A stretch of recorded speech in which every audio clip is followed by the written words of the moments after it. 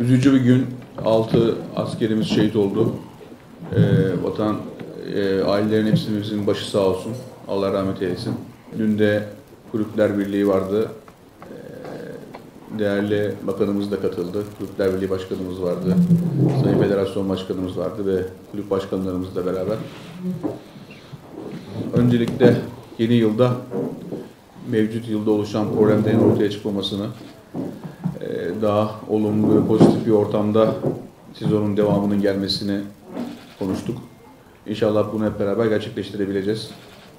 Tabii belli başlı sorunların da e, acil olarak çözülmesi gerektiği konusunda hem kulüpler hem de federasyon başkanımız da hem fikir. E, Ocak ayının içerisinde özellikle hemen başında bence ekonomiyle beraber Türk futbolundaki önemli problem olan e, hakemlerle alakalı konuların bir an önce çözümlenmesi gerekiyor. İnşallah Ocak ayının başında bunları çözümlenmiş bir şekilde yolumuza devam edeceğiz. İkinci önemli konu tabii ekonomi. Burada federasyonumuzun ve yönetim kurulunun çok önemli çalışmaları var. Dün de bahsettik orada. Özellikle sponsorluklar konusunda, özellikle naklen yayın ihalesi konusunda.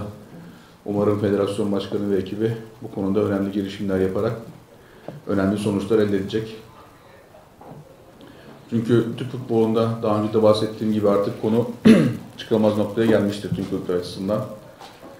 Çok ciddi sıkıntılar var. Çok önemli maliyetler var kulüplerin katlanamadığı. Bunun dışında naklen yayında gelinen nokta ortada. İddia gerilerinde gelinen nokta ortada. Ee, bunların hepsinin umarım düzeleceği yeni bir yıl yaşayacağız.